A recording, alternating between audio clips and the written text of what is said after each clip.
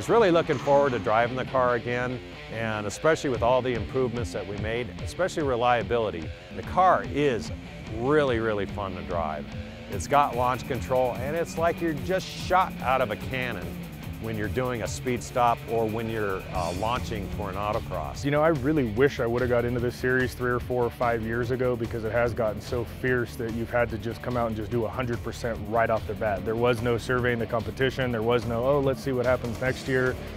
It's getting so fierce that you just got to come out and you got to give 100%. And yes, my mind's definitely on Vegas. I want nothing more than to have this car on the podium. To know that I'm more like that redneck, hick, small town guy, you know, have my own little garage. I built everything in my own garage. The, the car was put together by myself. And to come out here and play against big horsepower, it just feels good to, to, to be able to be at that level. This is a little car. It, it has to weigh 3,060 pounds to be legal. We're competing against Corvettes that weigh about the same. Ken makes you know 150 less or actually not even that about 50 less at the tire but the car his car and our in our car weighs about the same so it comes down to setup and driver at that point. I have what i have i brought what i brought and i'm trying to do my best with what i have.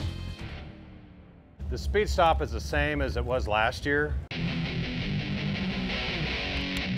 You take off on the oval so it's kind of banked and then you get to the end of the road you brake hard come off the bank and it slams down onto the pit road, and you come back the other way and go through a little slalom into the box. Speed stop's really, really tough on your junk. You make that kind of horsepower, you've got sticky tires, you're at 95 degrees, the track's hot, you know, you're, you're really beating the car pretty good when you go to do a speed stop. The, the hardest part about the speed stop definitely was the turn and the off camber. Uh, not being on a speedway as much as, uh, as many times I guess I could say, as other people, uh, didn't give me that experience that I've, uh, I, know, I guess, had in my pocket. The cool factor about the speed stop here is that you got a long straightaway and you, I get to use the launch control on the Evo. And what that means is, is that you literally can plant your foot on the floor with the accelerator it revs up to a point and bounces off of a rev limiter and it holds it at 6,000 RPM and you dump the clutch. And it shoots off the line like a shot out of a cannon. I was hoping for a good day with no problems, and you know what? That's what we got. We literally put fuel in the car all day, kicked back, and, it, and started tuning on the suspension. First lap around, bang, you know, we were like leading right from the get-go. We got a, a, lot of room to, to play with here to try and whittle it down. Hopefully we get a 15-9, something like that. That should put us real solid in this competition. Cool, you know, this car is gonna be fast here.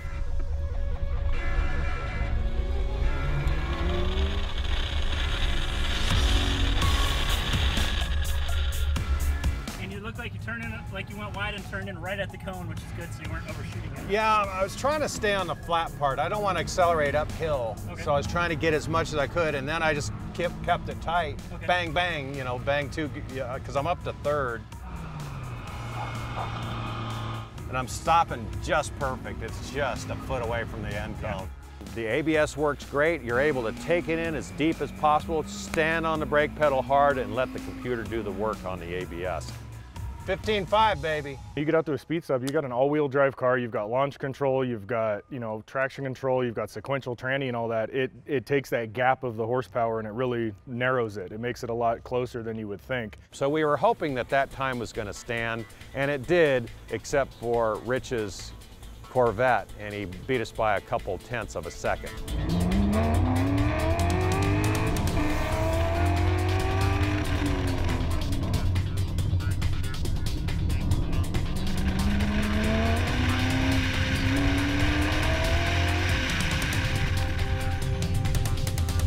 Luckily, our car works pretty well. Um, obviously, there is some driver involvement, um, but it's cool to see high horsepower cars set up really well They can come out here and compete. 16-2-1. In comparison to the high horsepower cars, I was, I was right there with them. Uh, the track, once it got hot, uh, it was really hard to keep up with my times throughout the, the session. It is hot. Car was running hot, so I was having to take some freeway runs to cool it back down to its normal running temperature. And so, uh, aside from that, um, you know, I was happy with the times, and it, it put me in a good position. I was pretty relaxed and calm. It's pretty cool when you know that um, you got one of the fastest car at the track overall. I mean, I know that the car is good, it feels good, it's performing good. I could feel the power difference that it wasn't quite as crisp as it normally was, but hey, we were still out, out front. Yeah, one of the good things about uh, here at Pikes Peak is the autocross course is really, really fun. When I walked it, I was sitting there going, oh man, you know, after coming out of the last event I ran in Vegas, I was getting like 94 miles an hour across the, the finish line. I'm going, oh man, not another small one like Thunder Hill. The first lap I did, I went, oh, this is really deceiving. This is way faster than I thought. It's technical. That back sweeper had a lot of uh, time you could make up back there, and I think that's where a lot of my time was made up. I just kept pushing it harder and harder and harder through that back sweeper, and it was a really, really fun course. I went and told Jimmy, I said, hey, looks were deceiving, because I looked at it and walked it this morning and went, this is going to suck, and then we went out and drove and went, this is a really fun course. Yeah, Rich Willhoff in his Corvette has really stepped his game up this year. Uh, he, he wasn't really known as an autocrosser. He's a road racer like me. And it's taken me a couple years of practicing on autocross to, to really pick up the skills that it takes. It's a different philosophy. And I've improved in autocross, and you know what? Rich has too. And he's got all the tools that it takes to run the table in Vegas. The car was set up really well. I honestly only made one click uh, softer on the front shocks all day, and I dropped a couple of tire, a couple of pounds on tire pressure here and there. That was it. The rest was pushing the car harder and harder and harder and finding that limit. And we know that Rich has set a time of 39.4, uh, which is pretty fast and significantly faster than everybody else. On my first run, you're still learning the track and learning what the car could do, but you ought to be within two seconds of, of what the fast time should be if you want to be competitive. Our first lap, we're four seconds off the pace right away, and I didn't screw up that bad. I mean, the, the time was there. I think we got to raise the back back up a little bit. Okay. Do that two turns. Yeah. I knew we were off the pace, um, but we have two and a half hours to work on the car and make it better. And we have data acquisition that we're getting from each run that we make on the autocross track, and we can overlay it on the computer and see where I'm slower, see where I'm faster. I'll accept the technology, that's for sure. What was really strange was, you know, it kind of blew that run in the first few corners. It was kind of just cruising, you know, well, okay, let's keep going and see, you know, how the car feels, that kind of thing. And we caught back up to our fast time just like that. Eight tenths down right here, and then you pull it back. Six tenths, six tenths down. So you pull two tenths back on whatever line you did. Wow. Right through here. I was just cruising. I wasn't even serious. Yeah, and it was it's crazy. It's faster. Wow. Computer's telling me what I was doing right, what I was doing wrong, and now if I do it right in all the places, you know, I'll gain a half a second, something like that. But the black one, is it too tight inside there? And I think it, you went a little too deep right through here. Ah. So you see how it's it's offline and the other ones just catch right up and pass them. So just maybe go a little bit slower through this section here, deliberately, so you can turn in a little before that slalom cone. When somebody tells you you're 10 miles an hour faster on this run, and here's the proof from the computer, I stop and listen and go, you know what? That is, I know I can make up time there. As a driver, you always want to do better. The car, you always want it to be faster, more horsepower. It's always more, more, more, more.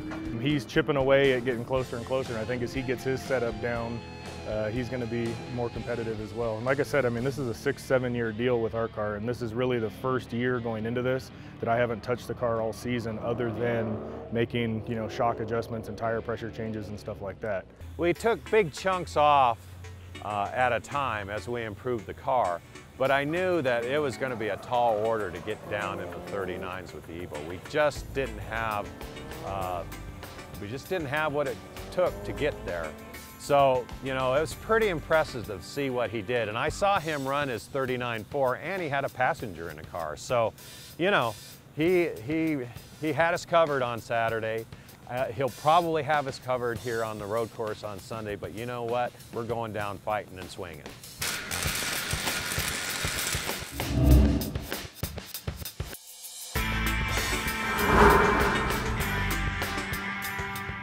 We just spent a whole building this car and making it a better in design. So if that comes through for us, That was great. yeah, that's